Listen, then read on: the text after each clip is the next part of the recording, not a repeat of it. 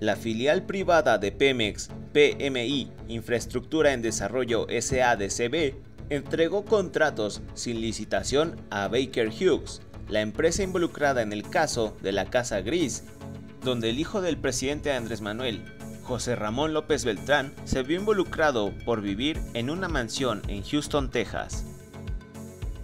De acuerdo a la información, la filial de Pemex, que actualmente construye la refinería en Dos Bocas, le otorgó dos contratos en 2020 a Baker Hughes, los cuales suman 5.098 millones de pesos, donde de acuerdo con la información dada a conocer, uno de esos contratos sería por invitación restringida a proveedores preseleccionados y otro sería de la nueva figura de proceso de selección de proveedor. Además, Baker Hughes, en consorcio con la empresa italiana Nuovo Pignone, ganó un contrato de 3.595 millones de pesos para proveer el sistema de turbogeneración en octubre 2020, donde dicho contrato tiene una vigencia hasta el 10 de octubre de 2022 y que fue asignado por invitación restringida a proveedores preseleccionados. Sin embargo, los detalles del contrato no se hicieron públicos. Lo mismo ocurre para ambos contratos, ya que ninguno de los dos se conocían públicamente, hasta que fueron incluidos en el informe de la cuenta pública de 2020. Por su parte, la Auditoría Superior de la Federación ya ha publicado detalles de 81 contratos por 48.387 millones de pesos firmados en 2019 y 2020 en dos bocas, y en los que participan 56 empresas privadas.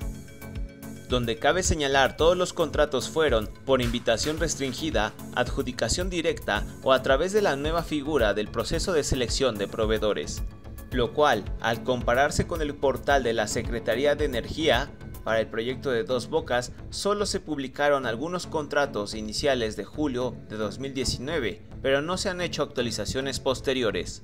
Pero el nivel de eh, coraje, eh, cómo los omnubila y cómo eh, inflan cosas pensando que pueden imponerse Imagínense, yo autorizando que le den un contrato a una empresa estadounidense para que de esa manera le rente una casa a mi hijo.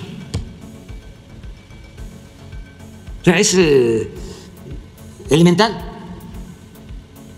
O sea, ¿cómo? Pero además es un asunto de principios, de ideales. Pero no. Y la periodista y los periodistas que participaron en esto no son capaces de ofrecer una disculpa. ¿Dónde está el conflicto de intereses? Y queriendo eh, equiparar esto al caso o al asunto de, la Casa Blanca y otras cosas. Entonces, sí, hay que eh, serenarse y aunque nos tengan mucho coraje, que respiren, que cuenten hasta 10 y que indaguen, que no se equivoquen, que no hagan el ridículo.